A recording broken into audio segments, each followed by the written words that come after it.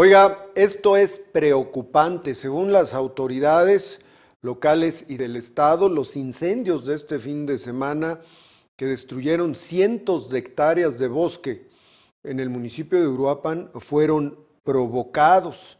Esto lo confirma, dice el alcalde Ignacio Campos, la alerta que recibieron el sábado. Querían incendiar otros cuatro puntos en el Cerro de la Charanda, Cerro de la Cruz y la Basilia. Esto es preocupante. Escuche ustedes Ignacio Campos, el alcalde de Uruapan.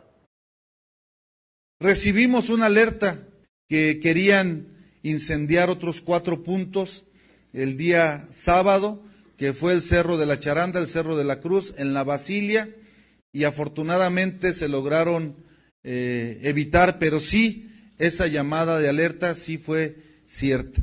Estamos en el proceso de investigación y vamos a ser muy firmes en el sentido de que hagamos las denuncias correspondientes, como lo mencionaba el secretario de Medio Ambiente, pero darle seguimiento y encontrar con los responsables. También vamos a trabajar en la creación de la Policía Ambiental del municipio de Uruapan.